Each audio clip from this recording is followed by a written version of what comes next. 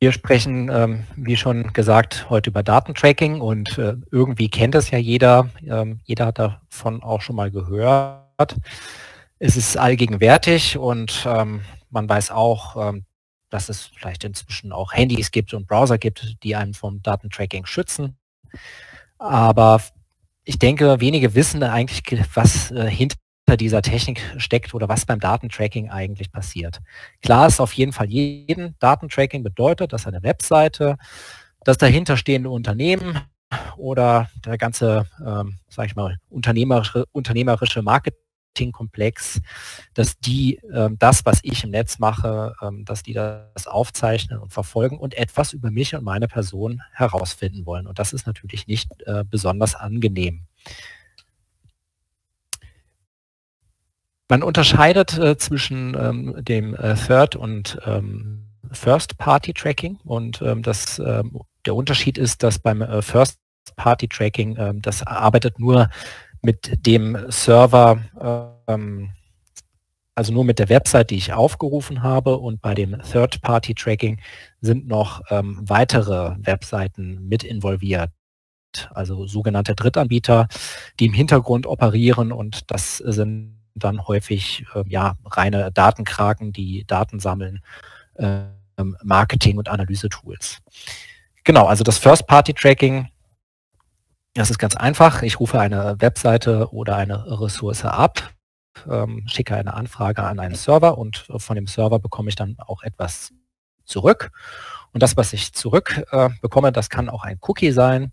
Das wird in meinem Browser ähm, abgelegt und ähm, dient dann dieser Seite, wenn ich nochmal da drauf komme, ähm, zur späteren Wiedererkennung. Beim Third-Party-Tracking ähm, ist es dann, ist dann wie gesagt ein, äh, ja, ein Drittanbieter noch involviert. Also ich äh, besuche jetzt die Webseite A und diese Webseite A legt wiederum äh, wie beim First-Party-Tracking auch ein äh, Cookie ab, ja, aber das ist jetzt kein Cookie von der Webseite selbst, sondern eben von diesem Drittanbieter. Ja. Und damit kann der Drittanbieter ähm, ja, Informationen ähm, über den Browser und das Gerät sammeln und speichert das in seiner Datenbank. Und wenn ich dann eine andere Webseite besuche, die auch mit diesem Drittanbieter kooperiert, ja, dann können die Informationen synchronisiert werden.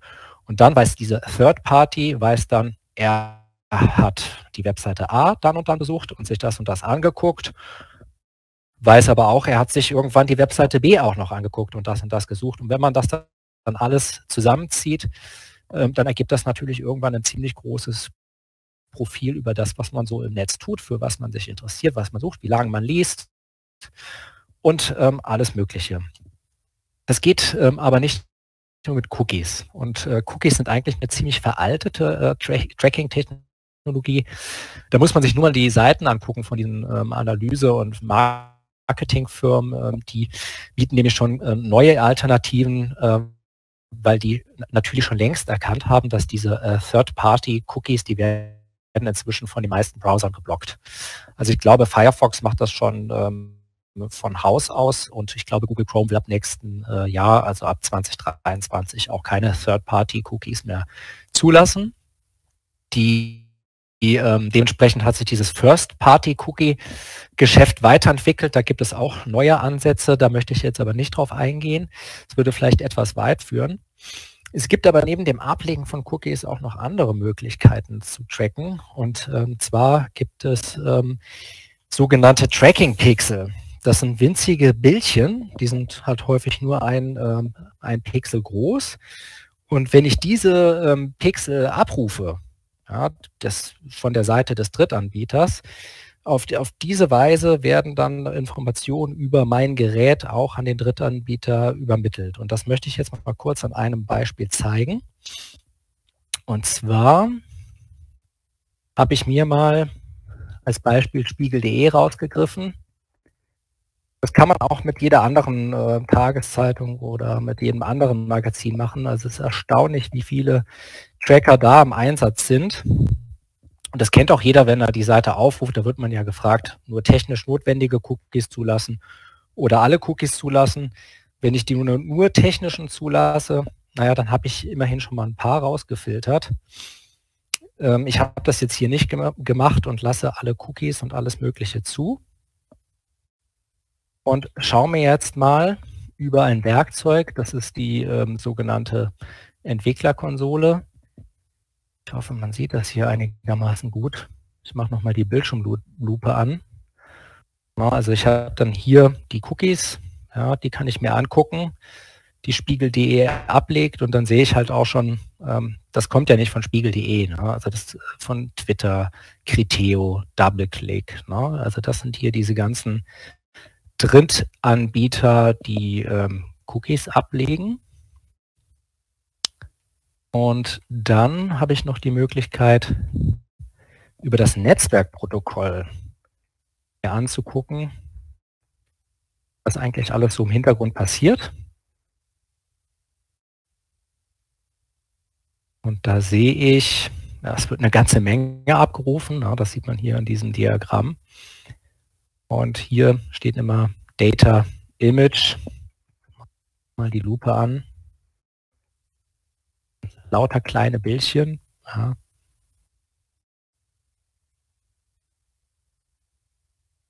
Hier auch.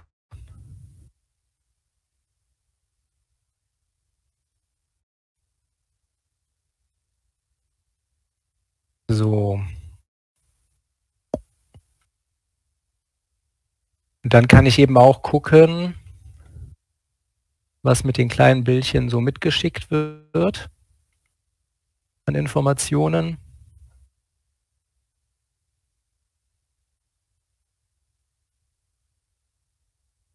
Ja, das sind hier zum Beispiel sogenannte E-Tags oder sowas. Ja. Ähm, das sind eindeutige Bezeichner, ähm, die dann von diesen Drittanbietern geteilt werden und ähm, ja, miteinander synchronisiert werden und zum Beispiel über dieses E-Tag bin ich jetzt eindeutig zu identifizieren. Und wenn ich das nächste Mal von einem Drittanbieter eine Ressource abrufe, dann wird das genau über diesen Identifier auch passieren. Und das ähm, geht, wie gesagt, nicht nur über Cookies, das geht auch über alle anderen Ressourcen. Ne? Also das können diese kleinen äh, Tracking-Pixel sein, das können aber auch Schriftarten sein. Äh, das war ja, glaube ich, auch neulich in der Diskussion, da gab es so, so einen ähm, so ein Abmahnskandal. Ne? Also die Seiten, die Google Fonts eingebunden haben, die wurden abgemahnt. Und ja klar, natürlich, wenn ich mir von Google Fonts was runterlade, dann übermittelt mein Browser ja auch Informationen ja, über mein System, ähm, über meine ähm, Einstellung und sowas. Und darüber kann ich identifiziert werden. Und diese Technologie, die nennt sich Fingerprinting. Ja. Und ähm, da möchte ich jetzt mal ein Beispiel zeigen.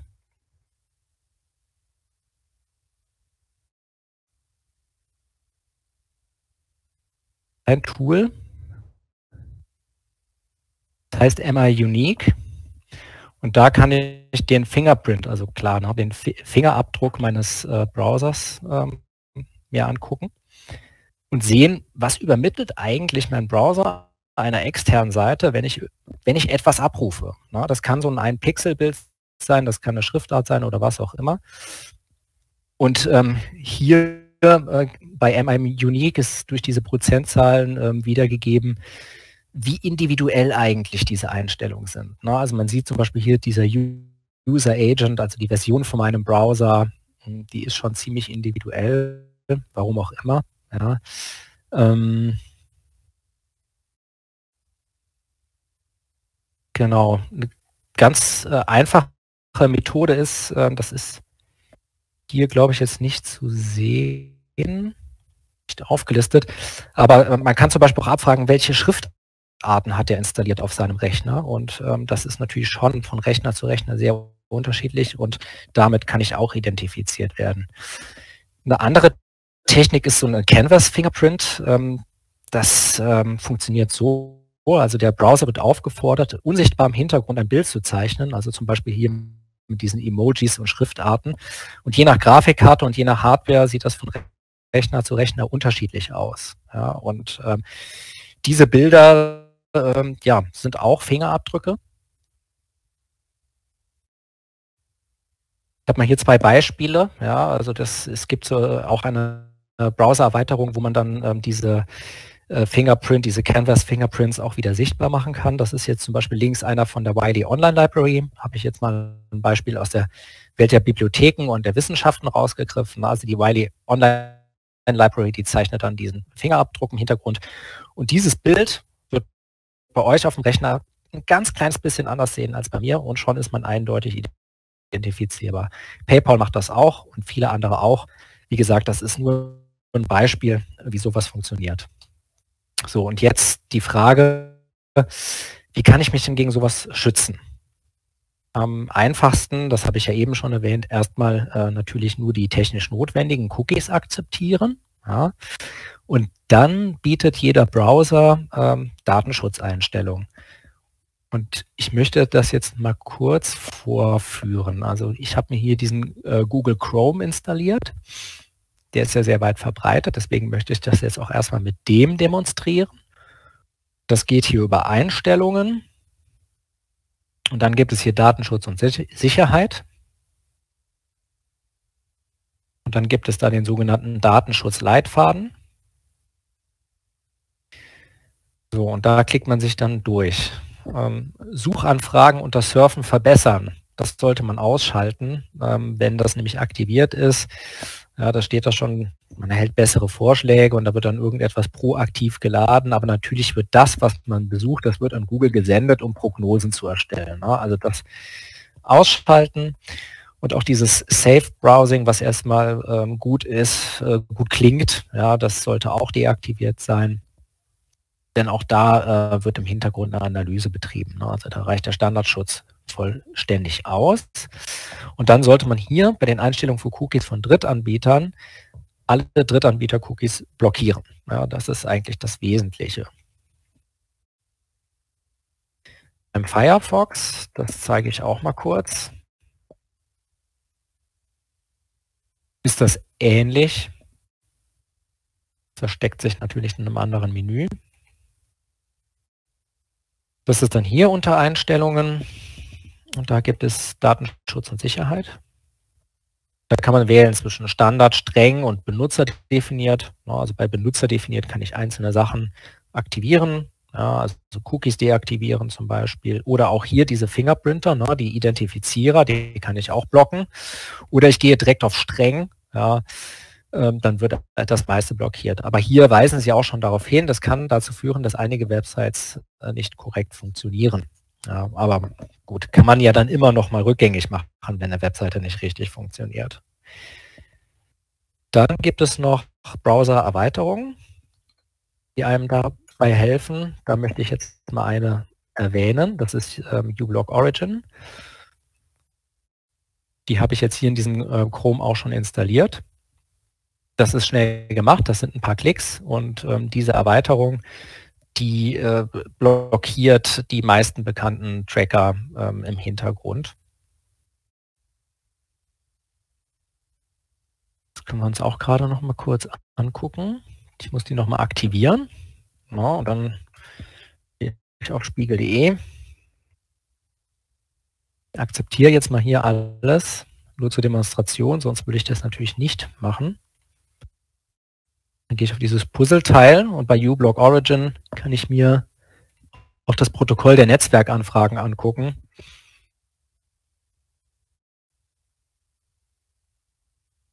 Muss das gerade nochmal neu laden. So, also alles, was hier rot ist, das wird geblockt. Ne? Und ähm, da sieht man ja schon, es ist unglaublich, was da eigentlich alles abgefragt gefragt wird. Also allein wie viele einzelne Anfragen da stattfinden. Ne? Und das geht dann Amazon und Yield Lab und was weiß ich nicht alles. Und ähm, da kann uBlock Origin einem auf jeden Fall schon mal ähm, einiges äh, vom Leib halten. Ähm, dann gibt es noch die Möglichkeit, so datenschutzoptimierte Browser zu nutzen. Also es gibt äh, hier diesen, diesen Brave-Browser. Kann man unter brave.com runterladen. Ist auch ein Chromium-basierter Browser. Und der hat sehr viele Technologien schon drin, die äh, zum Beispiel das Fingerprinting unterbinden. Und er hat eigentlich einen sehr schlauen Ansatz, der ähm, randomisiert diese Informationen, die vom Browser übermittelt werden. Also der gibt sich ständig als irgendetwas anderes aus. Also der, der gaukelt irgendwelche Informationen vor und auf diese Weise funktioniert das Fingerprinting nicht mehr. Wer ähm, lieber einen Firefox-basierten äh, Browser nutzen möchte, der kann sich mal diesen LibreWolf angucken. Ja, also das ist auch auf Firefox-Basis ein Browser, der ähm, in Hinblick auf Datenschutz ähm, optimiert ist. Genau. Ja, soweit erstmal meine, meine schnelle Tour hier. Und ähm, ja, dann würde ich die Runde für Fragen eröffnen, falls es welche gibt. Und da sehe ich auch schon die erste Frage. Ja, wenn ich regelmäßig die Cookies lösche, hilft das? Ja, das hilft auf jeden Fall. Klar. Ne? Also dann ist die Info erstmal äh, weg. Ja. Diese ganzen Identifikatoren, die bei mir abgelegt werden sind, die sind äh, erstmal gelöscht. Aber wie gesagt, es gibt noch andere Technologien, ähm, womit man identifiziert werden kann. Und äh, das ist dieses Fingerprinting vor allem, ne? ähm, was sich nicht so einfach unterbinden lässt äh, mit den Erweiterungen, teilweise mit einem datenschutzoptimierten Browser eigentlich am ehesten. Ja. Und wie gesagt, Cookies sind nur eine Technik und ähm, die, es ist erstaunlich, wie auf dem Gebiet gearbeitet wird, äh, auch an allen gesetzlichen Regular Regularien vorbei, wie zum Beispiel DSGVO oder sowas. Also man muss nun mal einen Ausflug in diese Marketingwelt äh, unternehmen und da sieht man, was da alles so los ist. Es gibt Seiten, die ein DSGVO-konformes ähm, First-Party-Tracking bewerben. Die sagen, unsere Technik, die arbeitet nicht mehr mit diesen Third-Party-Cookies. Also wenn ein Browser das unterbindet, ist das egal. Und es ist sogar noch DSGVO-konform. Ja, also euch kann da eigentlich gar nichts passieren. Ne? Aber äh, es passiert immer noch das Gleiche. Also man nutzt einfach andere technische Möglichkeiten und äh, klar, die Gesetzgebung, die ist natürlich nicht so schnell wie die technische Entwicklung dort. Ja. Ja, das ist eine super Frage. Also ich habe mich da auch schon mal mit meinem iPhone ähm, auseinandergesetzt und ähm, muss sagen, also bei, bei Apple-Geräten, auch bei dem Safari-Browser von Apple, die machen schon re relativ viel in dem Bereich, ähm, auch Tracking-Schutz, ähm, das ist sehr gut. Ja. Was man aber auf jeden Fall machen sollte, ähm, ich bin jetzt leider auch kein Handy-Experte, ich weiß nicht, ob es das bei Android gibt, aber man sollte ähm, also bei Apple gibt es immer diese Option, dieses, dieses Tracking zu unterbinden, wenn man eine neue App installiert hat, wenn die App das das erste Mal machen will. Und das sollte man auch machen. Und ich hatte es mal spaßeshalber, habe ich mal mein Handy in, ähm, an so ein Netzwerkanalysegerät ähm, angeschlossen und dann konnte ich halt gucken, was alles gerade übers Handy kommuniziert wurde. Und ich hatte dann mal die äh, Kicker-App, äh, so eine Fußball-App geöffnet und ähm, auch das ist wie bei spiegel.de. Ne? Also da, das sind hunderte Anfragen, die die ganze Zeit da laufen an irgendwelche ähm, Drittanbieter. Und ähm, beim Handy kommt ja da noch erschwerend hinzu, das sind ja noch ganz andere ähm, Sensoren drin. Also wenn man mal seinen Standort zum Beispiel freigibt, ja, das, das, ich denke, das machen die wenigsten inzwischen noch. Ne? Aber auch ganz andere Dinge, in welchem WLAN befinde ich mich, äh, wann gehe ich schlafen oder was auch immer. Ne? Also das ist natürlich potenzieller, äh, potenziell schon, schon mehr rauszuholen aus so einem Handy. Ne? Genau. Und dann ähm, noch die Frage zu Opera. Ja. Ähm, Opera ist auf jeden Fall besser als Chrome. Ja, also ich hatte da einen Vergleichstest mal gelesen und ähm, Opera bringt da ähm, schon mehr Schutz mit als Chrome. Ja, Chrome ist ja von Google und ähm, ja, die haben natürlich auch ein wirtschaftliches Interesse daran, dass diese persönlichen Daten abfließen. Das ist klar. Ne? Da, da, sollte man sich auch nichts vormachen, auch wenn jetzt das Third-Party-Tracking oder die Third-Party-Cookies vom Chrome unterbunden werden. Ähm, das ist natürlich ein großes Geschäft, ähm, auch für Google, für Amazon ja sowieso und für Adobe und ja eben für diese ähm, Big Player in diesem Bereich.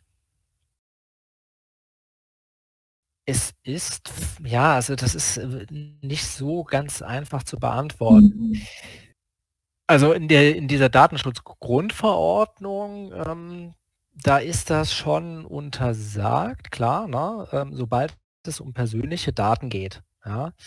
Ähm, es gibt aber immer wieder so diese Ausnahme, wenn das funktional erforderlich ist. Ja, und als öffentliche Einrichtung könnte ich das natürlich schon auch machen. Ja, also wenn das irgendwie funktional erforderlich sein sollte, ähm, ein Gerät zu tracken, um zu sehen, ähm, dass es immer noch das gleiche Gerät ist, das darauf zugreift. Was weiß ich, ist, ist vielleicht irgendwo ein Lesezeichen gesetzt und das soll nicht verloren gehen. Ja, also das ist ähm, schon möglich und ähm, dann gibt es, ähm, ja, sage ich mal, auch andere äh, Möglichkeiten, jetzt äh, die DSGVO äh, auch zu umgehen, ne? ähm, indem ich andere Technologien nutze. Ja, aber ja, also unabhängig davon, ob öffentliche Einrichtungen oder Unternehmen, also, also das ist ja für beide das gleiche Gesetz, ne? aber klar, eine öffentliche Einrichtung hat dann vielleicht auch eine andere Verantwortung und ähm, nehmen das Ganze natürlich auch ähm, ernster. Ne?